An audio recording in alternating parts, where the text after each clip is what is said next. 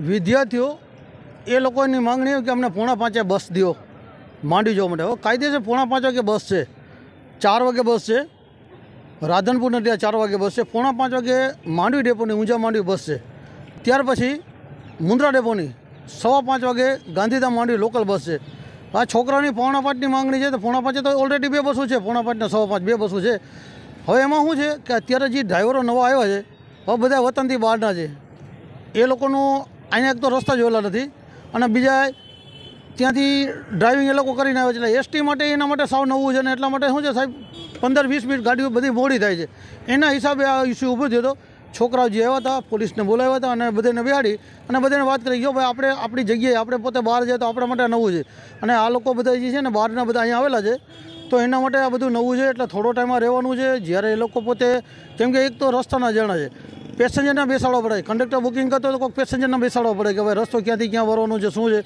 એના હિસાબે ગાડીઓ મોડી થાય છે. અને એના હિસાબે બે દી થાય ઇસ્યુ ઊભી પછી કાલે તો શું હતું? કાલે ગાડીની ડીઝલ લાઈન તૂટી ગઈ હતી. એના હિસાબે ગાડી મોડી થઈ હતી. આજે પંદર મિનિટ ખાલી મોડી થઈ છે ગાડી. નવા ડ્રાઈવરોની છે. બાકી ગાડીઓ એ ટાઈમે છે છે. એના માટે કોઈ બીજો ઇસ્યુ નથી. અને બધા રાજી થઈ ગયા. બધાને વ્યવસ્થિત જવાબ દીધું હા. અને એ લોકોને સંતોષ થયો.